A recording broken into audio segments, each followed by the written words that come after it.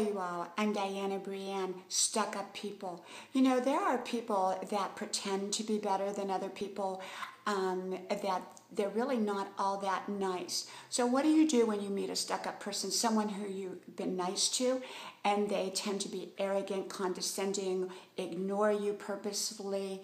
Um, things like that.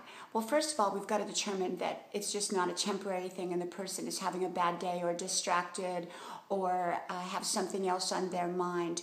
Um, so we kind of got to determine the reason for it. But if a person is purpose, purposefully um, uh, stuck up, and that's their nature, at least towards us, I think often be- it's better for us to look the other way.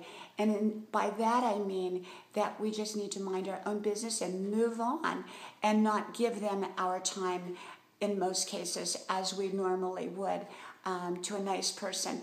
I think if people are stuck up and, and they act arrogant or condescending, it's better just to not give them our time if at all possible.